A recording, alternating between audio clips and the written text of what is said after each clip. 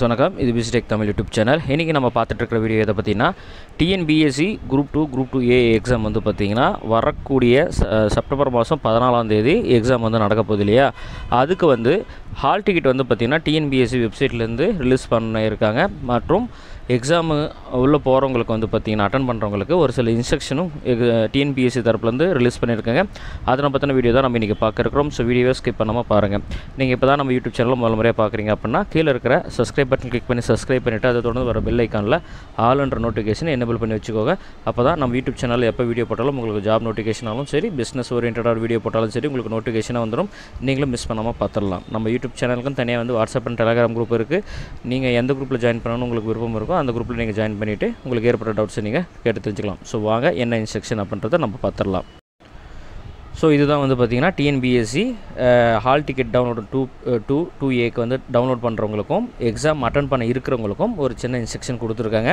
என்ன கொடுத்துருக்காங்க அப்படின்னா இருபது ஆறு ரெண்டாயிரத்தி இருபத்தி நாலு வந் அன்னி டேட்டில் வந்து பார்த்திங்கன்னா எட்டு பார் ஓகேங்களா எட்டு பார் ரெண்டாயிரத்தி இருபத்தி நாலு அந்த இதில் வந்து பார்த்திங்கன்னா அறிக்கை எண்ணில் வந்து பார்த்திங்கன்னா டூ டூ ஏ ரெண்டு எக்ஸாமுக்கான நோட்டிஃபிகேஷன் விட்டோம்.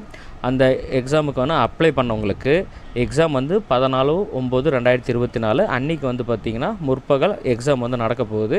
அந்த எக்ஸாம் அட்டன் பண்ண பண்ண இருக்கிற எல்லாத்துக்குமே ஆல் டிக்கெட் வந்து பார்த்திங்கன்னா டிஎன்பிஎஸ்சி வெப்சைட்டில் அப்லோட் பண்ணியிருக்கோம் நீங்கள் வந்து டவுன்லோட் பண்ணிக்கலாம்னு அப்படின்னு சொல்லியிருக்காங்க. எப்படி டவுன்லோட் பண்ணாங்கன்னா உங்களுடைய ஒன் டைம் ரிஜிஸ்ட்ரேஷனை வச்சு லாகின் பண்ணி உங்களுக்கான அப்ளிகேஷன் டிஎன்பிஎஸ்சி குரூப் டூ நீங்கள் அப்ளை பண்ணி வைக்கிற அப்ளிகேஷன் நம்பரை கொடுத்து உங்களுடைய டேட்டா பர்த்தை கொடுத்து நீங்கள் வந்து டவுன்லோட் பண்ணிக்கலாம் அப்படின்ற மாதிரி அவங்க சொல்லியிருக்கிறாங்க. ஓகேங்களா அதுக்கப்புறம் வந்து பார்த்திங்கன்னா எக்ஸாம் உள்ளே வரவங்களுக்கு டேட் வரவேற்பு நீங்கள் வந்து உள்ளே போக வேண்டிய டேட் டைமிங் வந்து பார்த்திங்கன்னா எட்டரைக்குள்ளே நீங்கள் வந்து உள்ளே அட்டன் ஆகிடணும் உங்களுக்கு அதிகபட்சம் டைம் வந்து கிரே கேட் க்ளோசிங் டைம் வந்து பார்த்திங்கன்னா ஒம்பது மணிக்குள்ளே நீங்கள் வந்து அட்டன் ஆகிடணும் அப்படின்னு சொல்லி சொல்லியிருக்காங்க.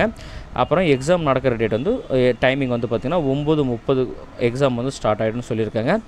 ஆல் டிக்கெட் வந்து பார்த்திங்கன்னா தெளிவாக வந்து இருக்கிற மாதிரி எடுத்துகிட்டு வந்துடணும். ப்ளஸ்ஸு உங்களுக்கான ஐடி ப்ரூஃப் ஏதாச்சும் வந்து நீங்கள் எடுத்துகிட்டு வரணும். என்ன அப்படின்னா உங்களுடைய ஆதார் கார்டோ இல்லை வந்து பாஸ்போர்ட்டோ இல்லை ஓட்டுநர் உரிமமோ இல்லை பேன் கார்டோ இல்லை வாக்காளர் அடையாள அட்டையோ ஏதோ ஒன்று வந்து பார்த்திங்கன்னா நகல் கொண்டு வரணும் அப்படின்னு சொல்லி சொல்லியிருக்காங்க. ஒரிஜினல் ஆர் ஜெராக்ஸ் ரெண்டுத்தில் எதுனாலும் நீங்கள் கொண்டு வரலாம்னு சொல்லியிருக்காங்க. இன்கேஸ் ஆல் டிக்கெட்டில் வந்து உங்களுடைய ஃபோட்டோ பிளர்ராக இருக்குது தெளிவாக இல்லாமல் இருக்குது இல்லைன்னா ஃபோட்டோ வந்து ஒரு மாதிரி இருக்குது நேரில் வந்து ஆள் ஒரு மாதிரி இருக்காங்க அப்படின்னா நீங்கள் எக்ஸ்ட்ராவாக ஒரு ஃபோட்டோ ப்ளஸ் வந்து பார்த்தீங்கன்னா ஒரு ஒயிட் ஷீட்டு அப்புறம் உங்களுக்கான ஐடி ப்ரூஃப் இதெல்லாமே வச்சு நீங்கள் உங்களுக்கான ஹால் டிக்கெட் நம்பர் என்னவோ அந்த ஹால் டிக்கெட் நம்பர் எழுதி கொடுக்கணும் எழுதிடணும் அதில் அப்புறம் மொபைல் நம்பர் இதெல்லாமே எழுதி கொடுத்து உங்கள் அட்ரஸ் எழுதி கொடுத்து இதெல்லாமே எழுதி கொடுத்துட்டு வந்து பார்த்தீங்கன்னா தான் நீங்கள் வந்து எக்ஸாமும் உங்களை அட்டன் பண்ண விடுவாங்களாம்.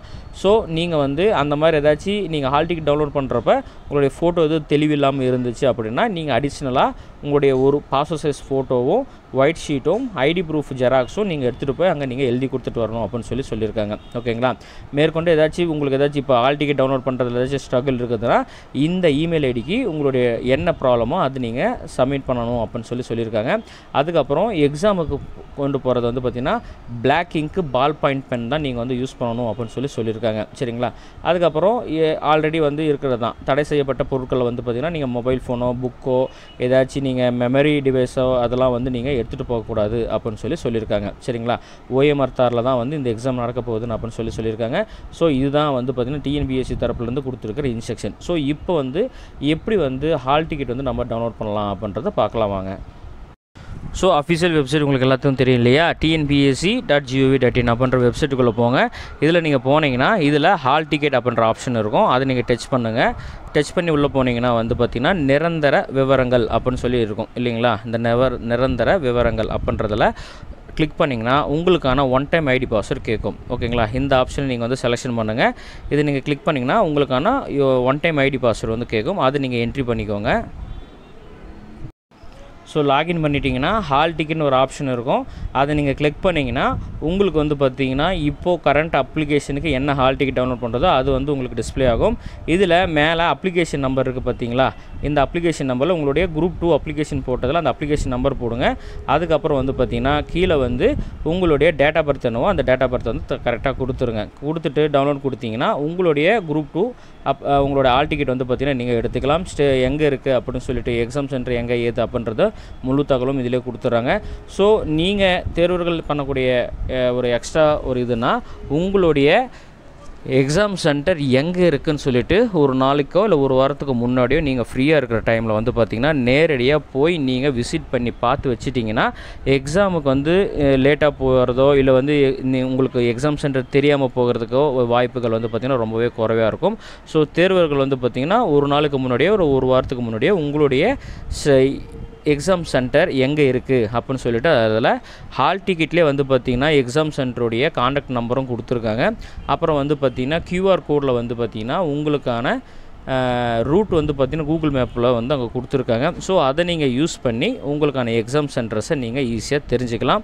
ஸோ கடைசி நாளில் போய் உங்களுக்கு எக்ஸாம் சென்டர் எங்கன்னு கன்ஃபியூஸ் ஆகிறதுக்குள்ளே நீங்கள் முன்னாடியே வந்து பார்த்தீங்கன்னா ஒரு வாட்டி விசிட் பண்ணி உங்களோட சென்டர் அதுதானு கன்ஃபார்ம் பண்ணிக்கிட்டிங்கன்னா உங்களுக்கு எக்ஸாம் அட்டன் பண்ணுறதுல எந்த ப்ராப்ளமும் இருக்காது. ஸோ ஓகே ஃப்ரெண்ட்ஸ் அவள் தான் இந்த வீடியோ இந்த வீடியோ உங்களுக்கு பிடிச்சிருந்தா மறக்காம இந்த வீடியோக்கு லைக் கொடுங்க. ரொம்ப பிடிச்சிருந்தா நம்ம சேனலை சப்ஸ்கிரைப் பண்ணி நம்மளுக்கு சப்போர்ட் பண்ணுங்கள் மீனவர் ஒரு வீடியோவில் சந்திக்கிறேன். நன்றி வணக்கம்.